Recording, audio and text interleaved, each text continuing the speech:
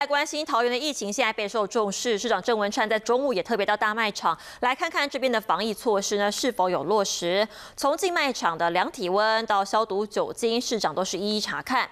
另外，在防疫专区也特别确认，包含了口罩、漂白水跟酒精等呢家用的清洁用品是否足够。